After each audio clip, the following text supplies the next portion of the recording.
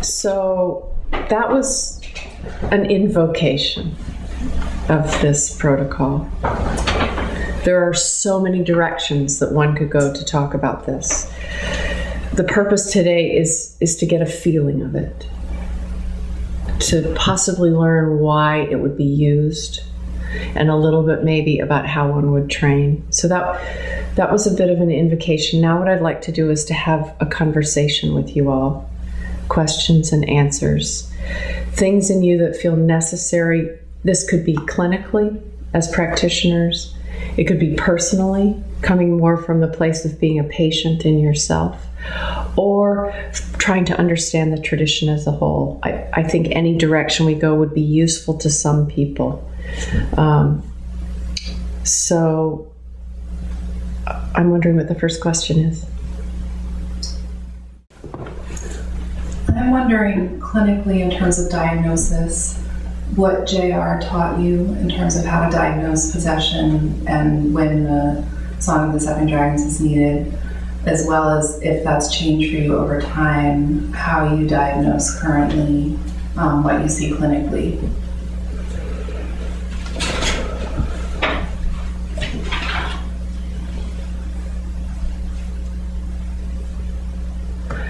Nothing has changed in how I diagnose from how JR taught me. I was not able to, to execute what he taught me for a very long time. JR taught this protocol, at least in my generation, very simply. The major ways you diagnose possession, the direct way possession can be diagnosed is through the eye. It has to do with the way the spirit are the spirits in residence. First and foremost, if they are not in residence, um, can you enter the person? Can you interact even in the emptiness? If you run into something, there's a possession. If something is unmoving, I can remember him talking about shark eyes, which really meant very little to me as a beginning acupuncturist. I believed him, but I wasn't able to see yet. He had us do exercises learning how to see a ballpoint pen, how to see the animate spirit in the pen. So, if I can't do that, I certainly can't do it with a human eye. So many years of practice. The only way to diagnose a possession is through the eyes. I agree. Realistically, other ways that possessions are diagnosed is through clinical experience, is that you you nothing is changing in treatment you're quite certain that your diagnosis constitutionally is accurate, that there are no secondary obstructions, and treatment is not happening. Or treatment progresses and then stops. It is possible to have a, a possession that's not a full possession, Jen. So he taught this. Was I able to execute what he taught? No. But there is a way that possession can be at a certain level of someone. But he kept it very simple. Um, the spirits are in residence and are moving, or they are not. There are ways reflectively, I would say this reflectively, that you can go to the pulses and feel certain things on the pulses. I had training with the pulses and possession, which there are some possessions that you can feel on the pulses by a quality that is on all 12 pulses. It is not unique to any one of the officials, which is it's it's a quality that muffles all of them. So it's a little bit like having um, raspberry jam on all of the pulses, or a thin layer of peanut butter, or a little bit of saran wrap, or tinfoil, something when you, that, that makes all the pulses have a, the same quality. Underneath that, depending on the level of the possession, you might feel hmm. wiry, you might feel slippery. You might feel a deficient pulse or an excess pulse. It's something that is the same across the board that makes it nearly impossible to feel the vitality of the pulses. Saying that, however, that should be a secondary reflective way of saying, yes, in fact, this is a possession. You will be pointed toward possession through someone's um, intake, through their history. You know, if someone has been to every single mode of therapy and they have been to people you know are extremely competent homeopaths, chiropractors, psychologists, medical doctors, athletic trainers, you know, people who are very, very gifted at what they're doing and nothing has happened. That would be a reason to look for a possession. When a possession is in place, pharmaceuticals don't work well, massage doesn't last. Um, nothing fully impacts the person. So that was another thing he taught us. You know, one of the tremendous gifts of JR to me, for me is that he transmitted the capacity for a human being to be an instrument of the Spirit. And in that transmission, one understood the source of life. In the, that transition, transmission, one understood the potential power of this medicine to cure. So that came with all that he taught. Specifically speaking about possession, I remember him saying this is the most difficult treatment of all. And what he said was because the point location must be perfect. The way the needle is inserted, the way the tonification, the excuse me, the sedation, the dispersion of the needle is done. If one of the points is a hair's off, none of them work. So he spoke of this really as a combination, and that the power of the dragons, this power of the fire within the earth, would then be summoned. So it, it, the severity of the treatment was was really never spoken of directly in my experience, but the severity of the need for the craft of the physician was. So it could take a whole day to do this treatment with someone because he he passed on ways of working with the needles to know whether you actually got the point location or not. So you would have to do it again and again and again. And, um, with time, I think there was a way that he trusted the authenticity of his students in the way that he taught it. That in time, people would come to the place where they could see if the spirits were restored to residence in the complexion. Because that's, of course, how you know the possession's gone. You don't know the possession's gone because green smoke rises and goes out the window. It's ridiculous. It's that the human is restored. he kept it very simple, and I understand why. He translated a, a, tradition that goes back to the very beginning of time into the modern Western psyche. And he brought something necessary to be able to reach to the spirit of individuals in this time. But to to grapple with what happens in the mind of the of the of the, the physician in training. we didn't we didn't do that in our time. There weren't a lot of questions and answers. It was do it this way, and this will happen. And um, I was a very slow learner. You know, even at the beginning, I, it was. It's amazing to me to listen to students coming out of school today speaking about being able to feel the chi and feel the point move and feel this. I couldn't. I did everything I did at the beginning was what he told me to do. I didn't have those senses opened at the beginning. I, I didn't know from inside of myself whether a point had opened or not. Um, I think there are some young people coming out of school who have tremendous capacity that I didn't have at the beginning. Um, but I also think it might be being taught in such a way that people are encouraged to think they have a capacity that actually takes 15 to 20 years to build. I think both things are probably true. This, this particular protocol is the great equalizer. you can think that you know what it feels like to be an instrument of the spirits, but if you aren't, this protocol will not open. So the person might get a little relaxed, but you are not going to see a different person walk out of the room. If in fact there is a possession, and if in fact you are treating the possession and it clears, a different person will leave the room. And I would say, from my training, the practitioner is also a different person.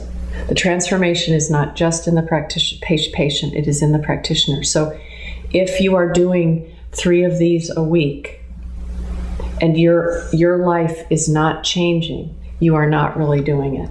And I know that's a bold and possibly arrogant statement, but it really comes from my experience of of what it is to become um, a needle,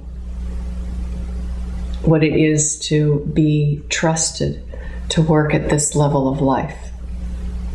We are not talking about taking a quilt off of a bed and shaking it out the window. That is not what this treatment is.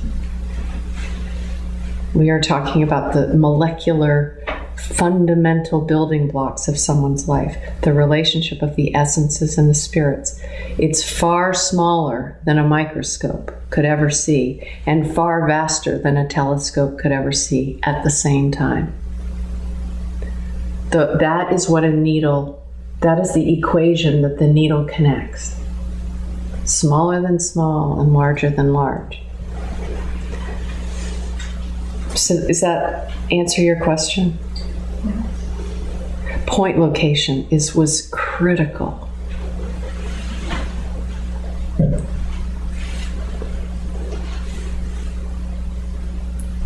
It's how you begin to be a student of this protocol. And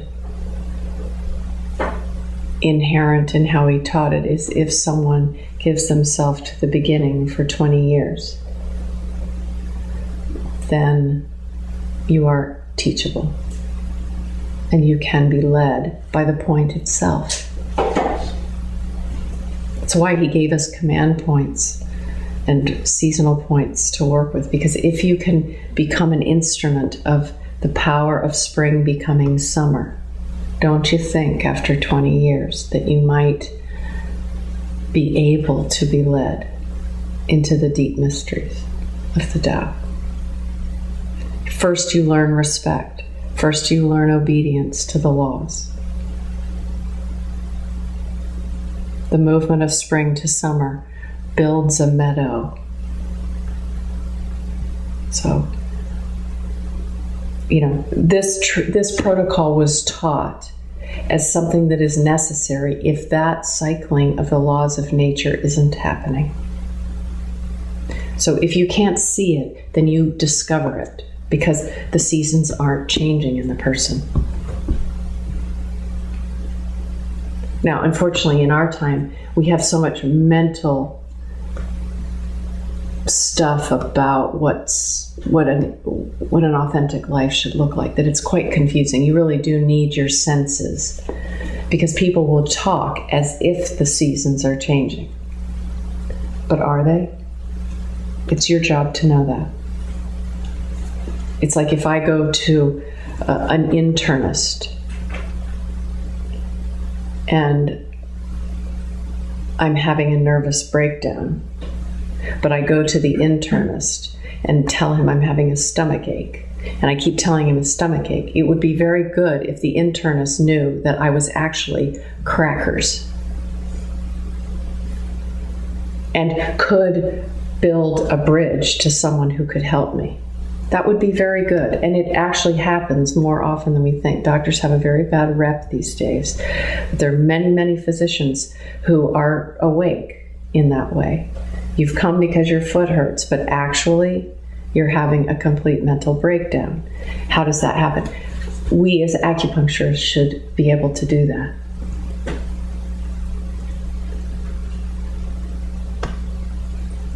I would like our standards of excellence to be going up, not down. But that's a personal opinion. This is an extraordinarily powerful system of medicine. JR said it's the most powerful medicine on the planet. And I would have to say, watching dead people come alive, I would agree with him. But how it's done, and the disciplines, and the reverence to the disciplines.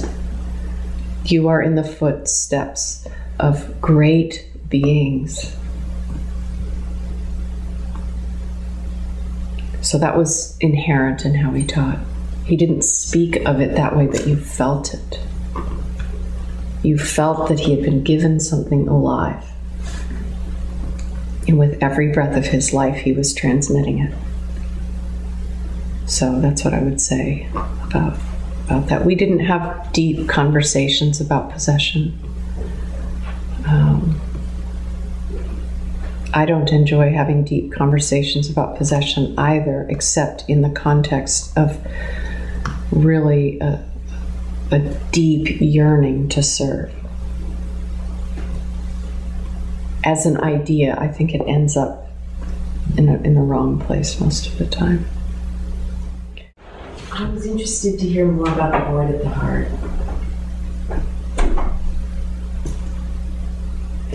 Can you give me just a little bit? I know that you're interested in that as a human being, and that the only real life is the cultivation of the heart. But can you give me a little bit of context for the question so I know where to go to? It seems so fundamental in the Chinese approach to well being. And it seems like a much bigger, con- a, a different concept than what we have in our world today. Okay, so let's just start simply anatomy, the energetic anatomy of the heart. The heart is the center of life. It is it is the arena of life.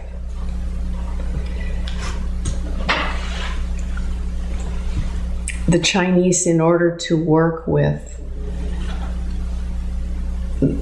the this the enormity of what the heart is. There are actually four organs which together operate as what we in the West call the heart. The void of the heart is what the Chinese call the heart. The official of the heart, the Lord and sovereign of the body, mind, spirit the authority of life, the, the absolute authority of life is in the heart, the Shen, the birds. In the West, we would say where the will of God resides.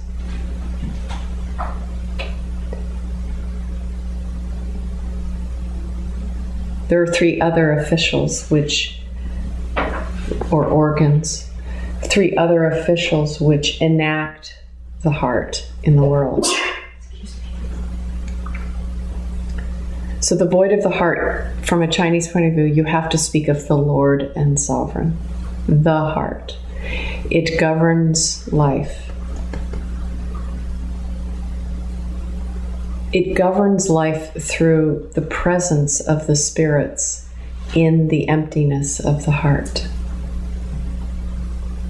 So life is governed through inspiration, not muscle.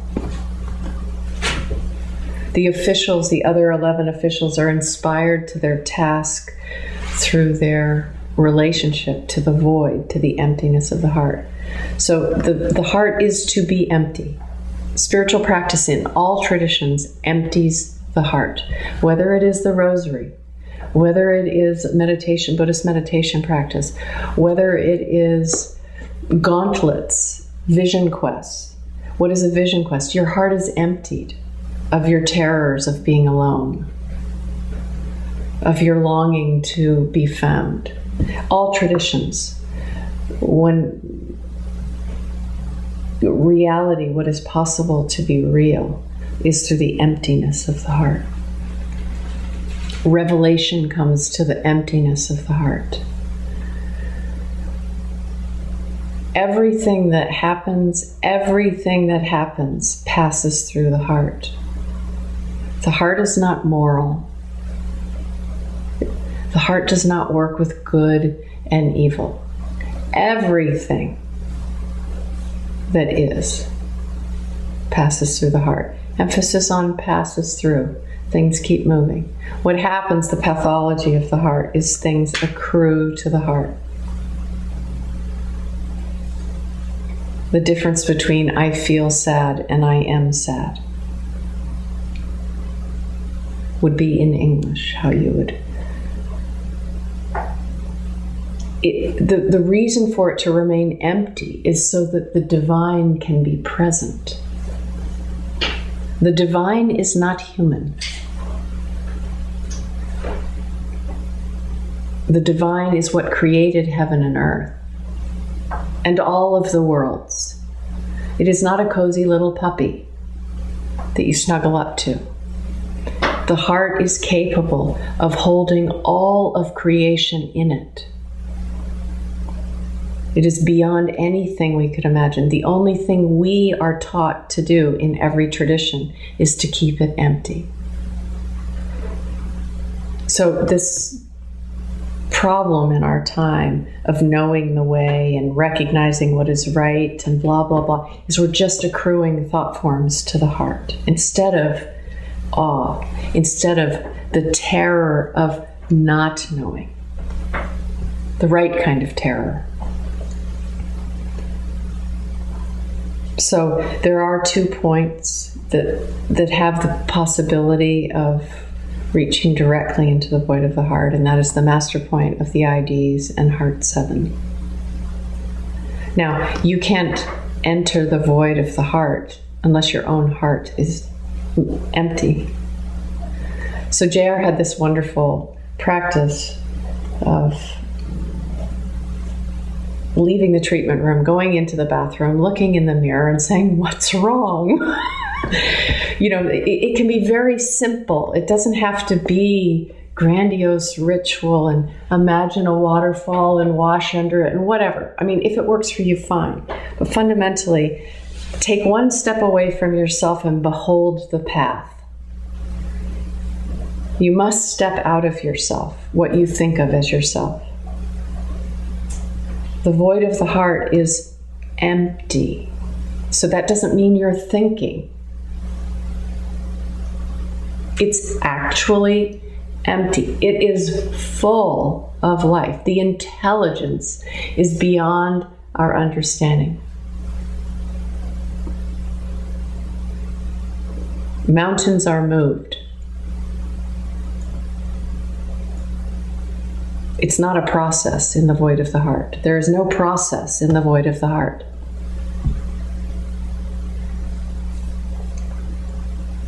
the intelligence of the light. Not my intelligence, not my understanding, which is which is a certain kind of intelligence, but it's nothing. It's a less than a grain of sand in in the desert to the intelligence of the birds. So, does that answer your question? right? So the IDs and the EDs work with the void of the heart. The EDs, it's a little bit different because you start with Du 20. The, the conductor of the EDs is Du 20. Um,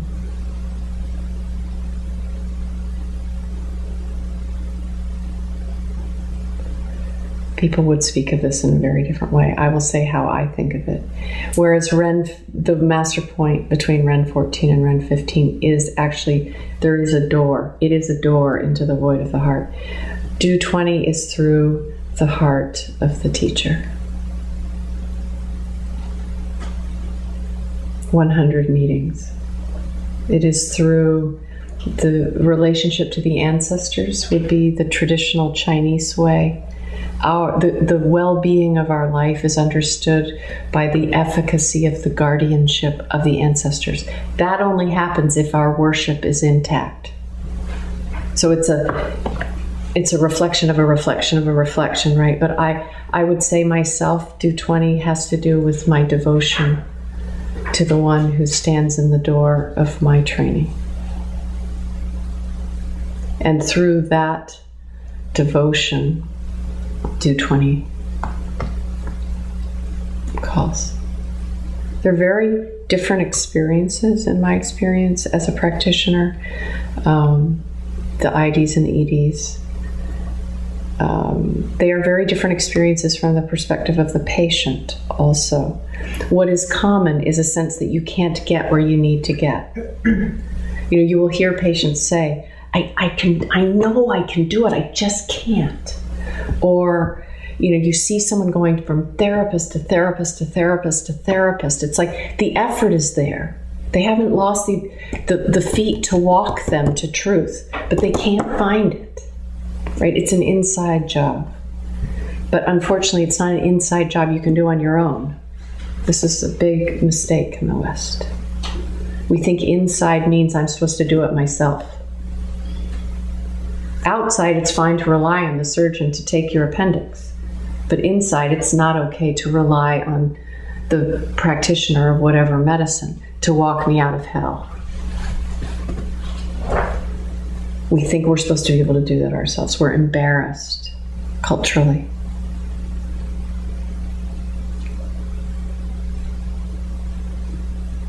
We, we are embarrassed to say, I am lost. Please help me. But we aren't embarrassed to say, I have 200 over 110 blood pressure and I need the drug for coronary artery disease. You see, we've it's this is cultural values, different times. So it's advantageous in certain ways, and it's not in other ways. I, I believe to the core of my being that if someone has become an acupuncturist, somewhere in them they are prepared to be trained to walk in the unseen they would not be interested in chi if they weren't. And it is my great sorrow that much of the training is becoming physical, technical, because it's, yes, we can do it. I mean, that is not a difficult thing. But, but that it's like, I don't know, it's like um, pounding a nail in with the most valuable violin on the planet. I mean, you can do it, but why not use a hammer for that and play music on the violin? It's just, you know, it, we Americans are quite impatient as a group, and to be able to work as a servant of the emptying of the heart, Deb, requires tremendous patience tremendous devotion.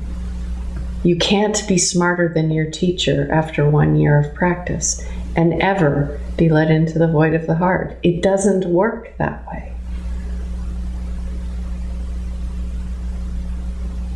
Thank goodness.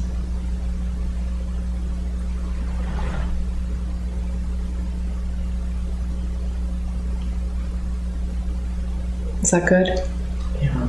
Okay. Um, I'm not an acupuncturist, but um, I would imagine that it takes a lot of courage to treat patients who are in possession for whatever reason.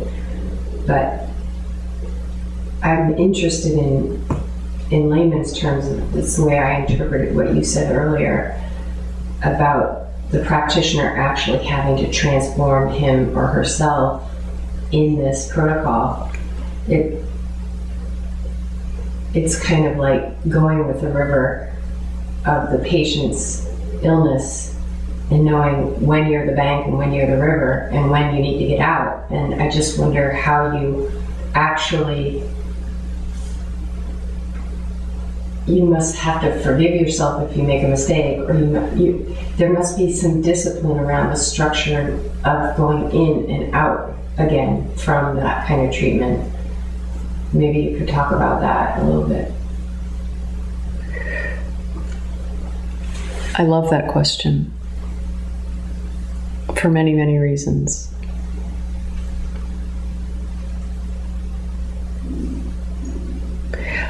I fundamentally started providing places for people to train because of that question.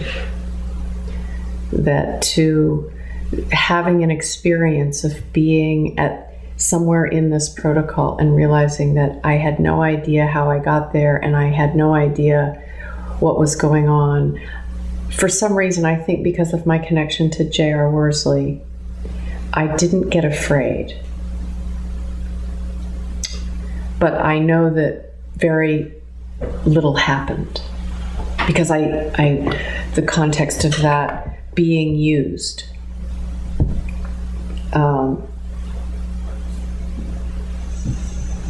I love the sound of the way you talk about the courage because I agree. And I wish there were more conversations in acupuncture school about courage. I had a teacher who said, You have to be arrogant enough to step up to the needle and humble enough for the needle to come alive. There is a courage to be transparent. You need courage to be with someone in a state of absolute terror.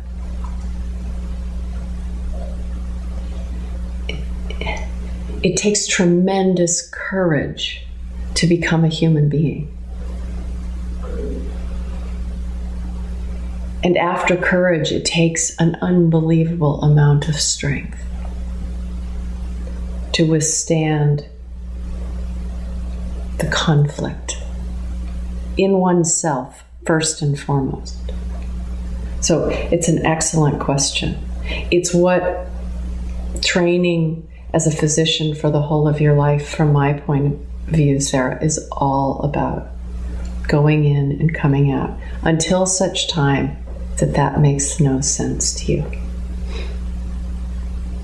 But you cannot fast forward. Sometimes, especially in the beginning, there's great mysteries that are given at the beginning. You step up to the plate. You you know something about oneness. You know it like you know what it tastes like to drink water. You know it. But the training traditionally takes you through the byroads and side roads and underbelly of duality. You do have to consent to learning how to enter and how to leave. This is the humility. This is chop wood, carry water. You know, you didn't hold a needle for years and years in the training. You learned how to carry water without spilling it. You learned how to walk by someone with a heavy load without intruding on their silence. You know, under this question, from my point of view, and I'm not sure if you were consciously thinking about it, it, is the problem of power. The authority that is given to have a sign that says, I am an acupuncturist, and the authority that is given to say, I will walk with you, and the trust that is then given or not given in response to that authority.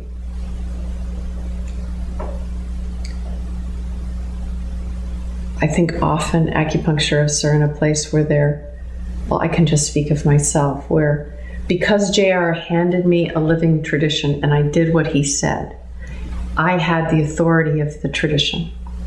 I did not doubt that pericardium 9 moved spring to summer because of the way it was given. That is a huge power. But because it was given through him, through the heart, I, I didn't have an issue there. But if you go into this protocol, the seven dragons, and you're talking about going directly into the void of the heart of another human being, I hope you're scared. And I don't mean scared not to do it, the right kind of fear. We're talking about the seat of consciousness in another human being. Tremendous question of ethics. So, if you're going to go past the very beginning of teaching this, in my opinion, the, the teaching is at least 50% living ethics. Then there's the teaching of the craft and the disciplines and all the rest. But that's where I go with your question is the the I don't think so much about safety as ethics. You know, the the there's a certain way people talk about keeping themselves clear. You know, clearing their energy after they've worked. Some people need to do this. There's some traditions of energetic healing that that's very central to. It never has been something I've thought a lot about, especially when you're working with the heart, because from the place in me that God is alive to the place in you that God is alive, how in the world could that need cleaning? So, my experience of the this particular protocol and possession is if I got into a situation where I was afraid or where it felt like something I couldn't handle, I stopped. And I still am that way. I stop differently now because I know because of my willingness to go as far as this protocol will take me that there are treatments that I can't do today that I will be able to do in a year but I there are treatments that you end up in something bigger than you that hopefully that would be what I certainly what I say to anyone I'm teaching. If you get nervous, stop. And we'll do it together. You'll do it next year. You know, you want to be respectful, especially if the treatment is taking you to that place of the relationship of the unseen and the seen. You want to be careful not only for you, but also for the patient. Does that get there?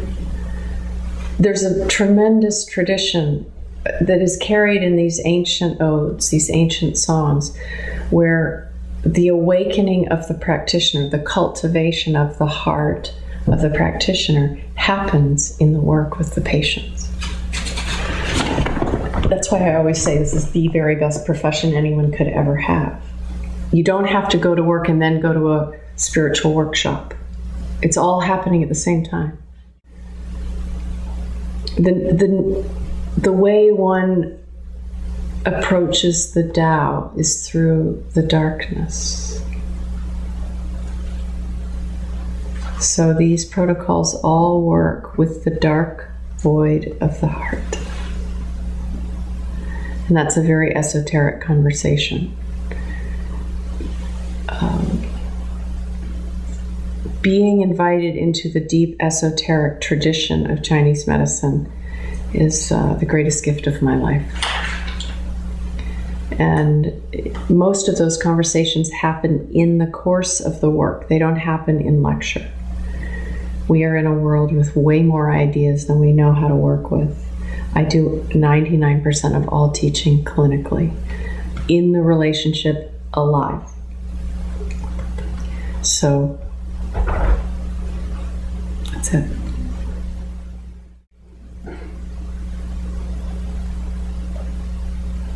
Possession is a very real illness. I will say that. It's it got put in the hands of the priests in the West, and it was understood to be a battle of good and evil. Prior to that, it was not in the hands of the priests. It is very, very deep in our understanding of how we become ill. So, part of the early training is lifting um, some of the terrible drama of it so that we actually can start to talk about it. What does it look like? How does it, what is it, what's the reality of the patient? Um,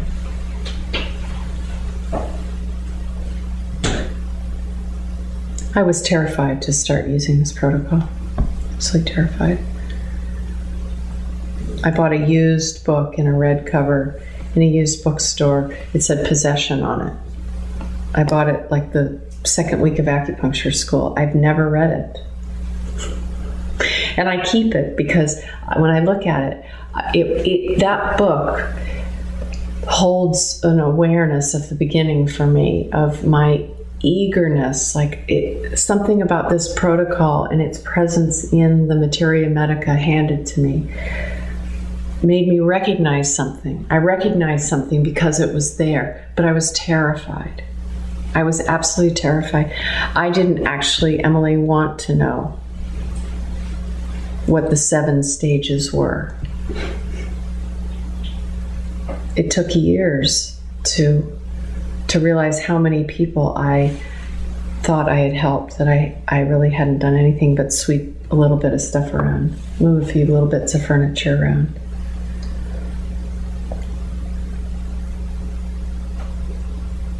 Probably the first generation of students of JR's had more experience with the protocol than I did initially when it was wilder and coming just coming from China.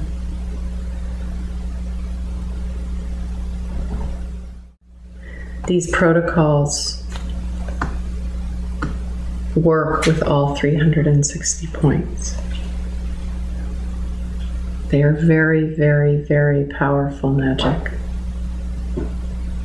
That's why he said you have to get all seven exactly because what happens is something starts moving that works with all whatever points are necessary in that universe whose name might be Sarah. It starts turning.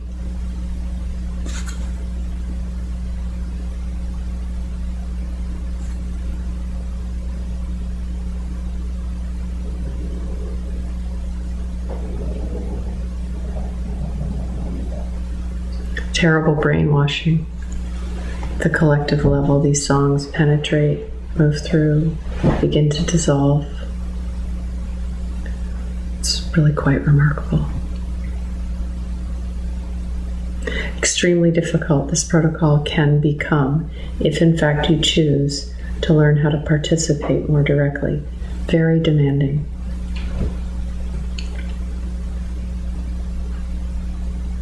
Of your heart.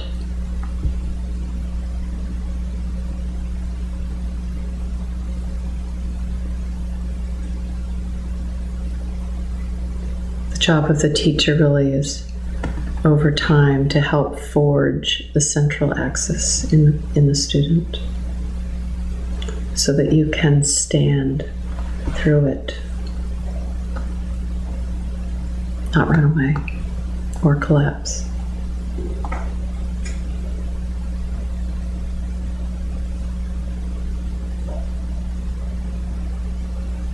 You young ones, if you want to do this, some part of you will have to get very old. Certain things, age, naturally aging, loosens our attachments to certain things. You watch people die, you watch your ideas fail, you come to terms with life. But if you're young and you want to do this, that will be accelerated.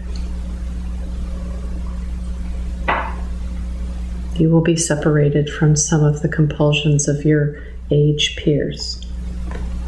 Because you can't you can't be an instrument of something that bound together from a place in yourself that is bound. Because you would just reenact the same terrors. Right? This song is not a battle this is a protocol that works with the deepest intelligence of earth in response to heaven. A fern knows where it belongs. Apple trees do not grow at 16,000 feet. Leopards do not crawl into bed with girls and snuggle. Right? There's a deep intelligence to every life form, and it knows what it is and it knows where it belongs. And those that trained in the mysteries were let into some of that. The plants themselves taught people the medicine they could deliver. The acupuncture points do the same. When you have trained, this is not ideas. This is not reading the point name and going on an active imagination dream trip. The point itself teaches you. It instructs your hand like a master woodworker would take your hand and move it.